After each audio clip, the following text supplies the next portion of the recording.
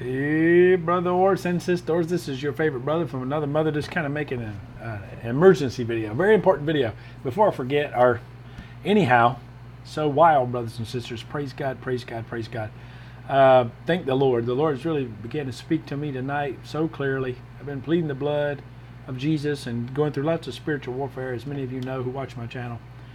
And I heard from the Lord that I got the breakthrough, got the heal, complete healing and breakthrough physically, mentally, and spiritually to go forward and do the finish up this deliverance I need to do. Powerful deliverance in Manila next Monday. Anyhow, so the Lord told me to pray with my wife. I called my wife in here to pray in agreement with me. And uh, the power of God fell, brothers and sisters. Uh, and I don't know, maybe higher than I've ever experienced because I've been in church service and doing revivals and the power of God falls, but you know, they, they like playing music loud and stuff, so it's hard to tell sometimes. And you're, when you're the preacher and you're going around, you know, it's like you're trying to see what's going on with people and that everything's going by the Spirit of God, and so you're, you know, you're so so busy you don't have time to really think too much. Just try to hear from the Lord what to do. But anyhow, while we were praying, brothers and sisters, it's so awesome. I saw, I don't know if it was the Lord or an angel, but I just saw the chest area of this white, white garment, and the Lord was saying, you know, this is uh, righteousness that cometh by faith. And so I've been praying for that. You know, I made a video about the other, you know, before, and that's what revival, that's how revival starts by seeking, you know. But if if my people are called by my name, will will turn from their wicked ways and seek my face, and you know, I'll hear from heaven, I'll forgive their sins, and I'll heal their land. Second Chronicles seven fourteen. So that's really and and Psalm one thirty three. Those two is. Uh, there's more than that. Psalm 133 is uh, how good and pleasant it is when brethren dwell together in unity and I, and I quote that all the time. And also Psalm, uh, Psalm 24, you know, who will ascend to the mountain of God except for him with clean hands and a pure heart who has not lifted his voice to another or lifted his voice in vanity, you know, idol worship, etc. Put God at the center of your life. But probably the three main ones I think of right now. And uh, and Matthew 6:33, seek ye first. Jesus said, "Seek ye first the kingdom of God and His righteousness, and all these things will be added to you."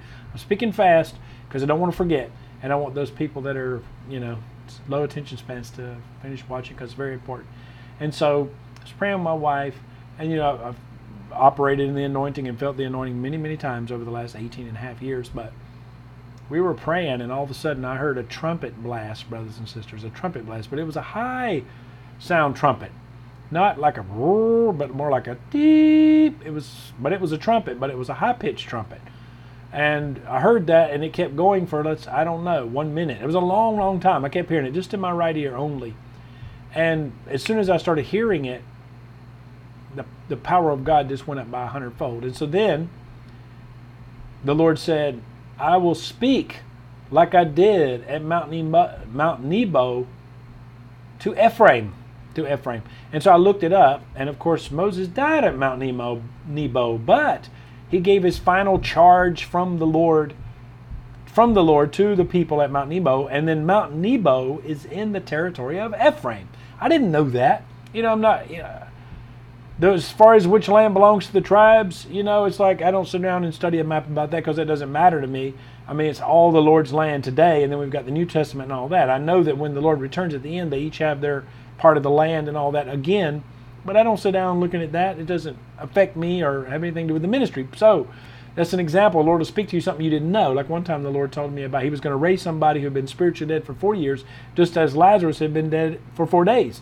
And I was pretty new in the ministry at that time. It was like 2001. And I was like, I don't know why. I said, well, you know, Lazarus, Lazarus was only dead three days. And the Lord said, no, it's four.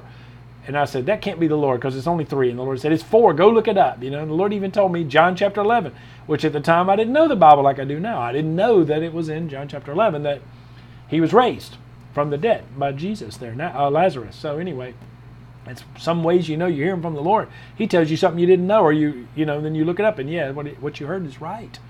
But anyway, so then to top it all off, brothers and sisters, after the Lord was saying that, the Lord told me he was going to send uh, a breakthrough angel with me and an angel called Favor. The Lord is sending an angel called Favor before me because I've been praying about this doing revivals and uh, connecting with uh, Minister Paul and uh, Brother Gary and whomever else the Lord would connect us with, our dear brothers and sisters in Christ, to do revivals in the States. And I'm praying about even doing tent revivals, uh, going back to the old paths and the old wells of, you know, the tent revivals of the 40s uh, and 50s. Of course, they had tent revivals long before that, but they were famous you know, because they got on TV, Oral Roberts and A.A. Allen and all those guys, 50s and 60s, etc. So I felt led by the Lord, you know, to pray for that and for that revival I've been praying for for over 18 years. And anyway, then to top it all off, while we're praying, and as soon as I said that, I told my wife, the Lord said He's going to speak like He did at Mount Nebo to Ephraim. We had an earthquake. And that's the strongest earthquake we've ever had here. While as soon as it was coming out of my mouth, brothers and sisters. And um, I, I, did a revival one time at this place. They call it Prayer Mountain. It's um, there's a church in the largest church in the city of Digos.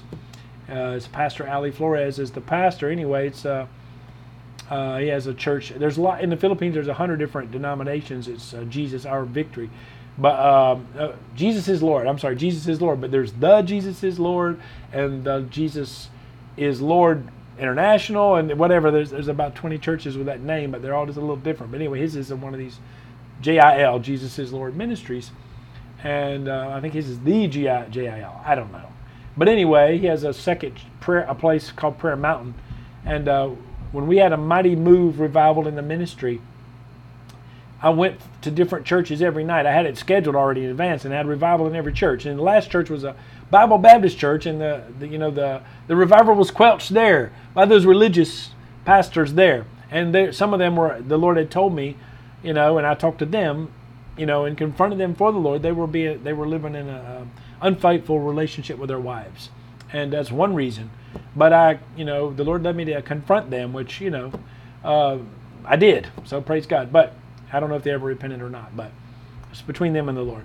But anyway, at that prayer mountain, we had an earthquake that night and a, a violent rainstorm, and rain blew in sideways. I've talked about that before. And it was over ankle deep while I was preaching about the Lord sending the rain. And I wasn't even thinking about it. But the pastors who were there were like, hey, that's what you were saying, and it happened in the natural, you know. But for me, I wasn't even thinking about it. I was saying the Lord's going to shake this place and He's going to send, you know, rain down His Spirit, and then there's a thunderstorm and an earthquake like I said, I was so focused on speaking what the Lord said and so focused on what God was doing, I wasn't paying attention. I didn't even have time to reflect on those things.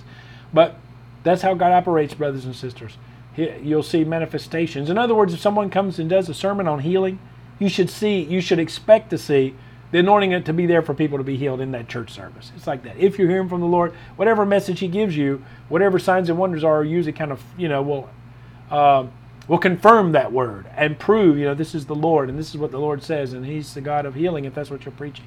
Anyway, so it's an awesome experience. I want to say we're all fine because I know people are going to be asking me. It was a big earthquake, but sometimes, you know, it can be far. Away. It could have been 500 miles away in a devastating earthquake. I don't know yet. I haven't looked, or it could have been right under us and it wasn't that bad.